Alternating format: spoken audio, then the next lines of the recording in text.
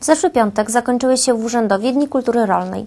Odbywający się co roku cykl zajęć i prelekcji również tym razem przyciągnął sadowników z całego powiatu. Zgromadzeni goście mieli okazję zapoznać się z najnowszymi trendami w branży rolniczej.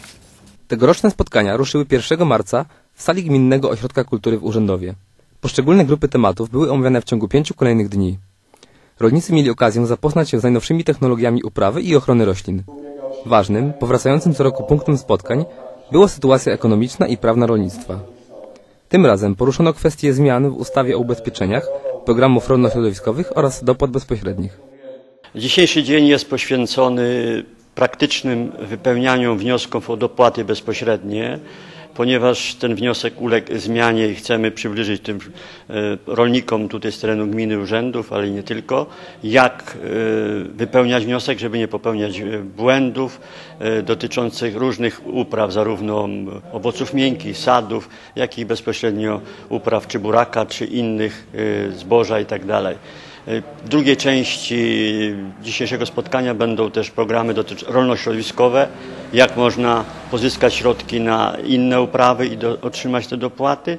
Natomiast po godzinie 12 będzie e, temat dotyczący ubezpieczeń społecznych rolników, założenia nowej ustawy o krusie, jak również jakie zadania stoją przed rolnikami dotyczących ubezpieczenia w ogóle rolników e, indywidualnych od jakiego reału, jakie stawki. O tych wszystkich szczegółach będzie mówił pan Piotr Widomski, kierownik oddziału KRUS y, w Kraśniku.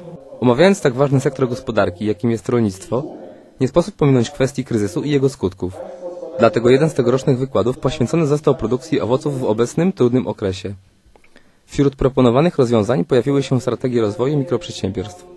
Myślę, że jak każdego roku problemów y, i obszarów zainteresowania jest bardzo wiele.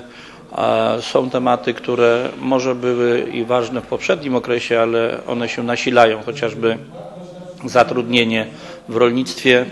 No wcześniej było przemilczane, y, ostatnio mamy przypadki już wizytacji y, plantacji prawda, w terenie przez y, inspekcję pracy, przez urzędy skarbowe, więc jest temat na czasie, który wymaga korekty, może nawet i rozwiązań prawnych, bo rolnik, dam przykład, że rolnik dwuhektarowego gospodarstwa jest dyrektorem firmy, e, a więc ma takie obowiązki nałożone jak dyrektor firmy, fabryki łożysk czy urzędu gminy, gdzie my mamy pewne e, oczywiście e, składy osobowe przygotowane do rozliczania finansowego, ubezpieczenia, podatki z tytułu mm, pracy w rolnictwie.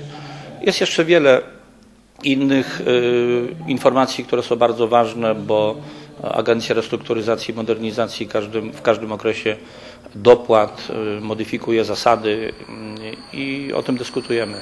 Obecni na prelekcjach goście mieli okazję zadawać pytania przedstawicielom lokalnej grupy działania Ziemi Kraśnickiej, oddziału Agencji Restrukturyzacji i Modernizacji Rolnictwa oraz Powiatowego Zespołu Doradztwa Rolniczego w Końskowoli.